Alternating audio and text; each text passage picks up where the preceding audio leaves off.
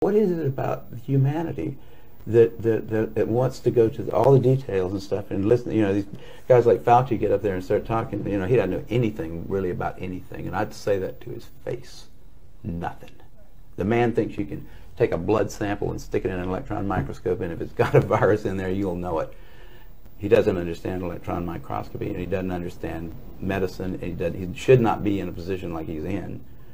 Most of those guys up there on the top are just total administrative people, and they don't know anything about what's going on at the bottom. You know, those guys have got an agenda, which is not what we would like them to have, being that we pay for them to take care of our health in some way. They've got a personal kind of agenda. They make up their own rules as they go. They change them when they want to. And they smugly, like Tony Fauci, does not mind going on television in front of the people that pay his salary and lie directly into the camera. You can't expect the sheep to really respect the best and the brightest. They don't know the difference, really.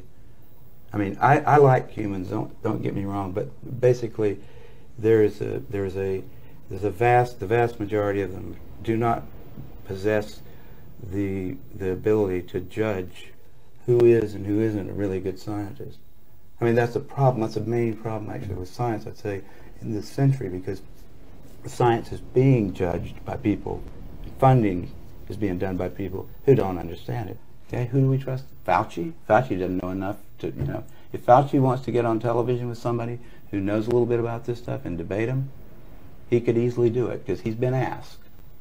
I mean, I've had a lot of people, president of the University of South Carolina asked Fauci if he'd come down there and debate me on the stage in front of the student body because I wanted somebody who was from the other side to come down there and balance my, because I felt like, well, these guys can listen to me, but I need to have somebody else down here that's going to tell me the other side. But Fauci was, didn't want to do it.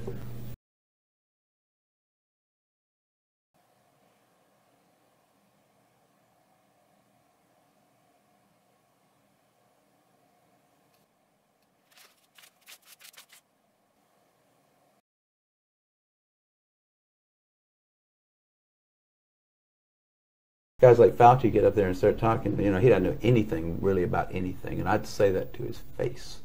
Nothing. The man thinks you can take a blood sample and stick it in an electron microscope, and if it's got a virus in there, you'll know it. He doesn't understand electron microscopy, and he doesn't understand medicine, and he, does, he should not be in a position like he's in. And they smugly, like Tony Fauci, does not mind going on television in front of the people that pay his salary and lie directly into the camera. Fauci? Fauci doesn't know enough to, you know, if Fauci wants to get on television with somebody who knows a little bit about this stuff and debate him, he could easily do it because he's been asked.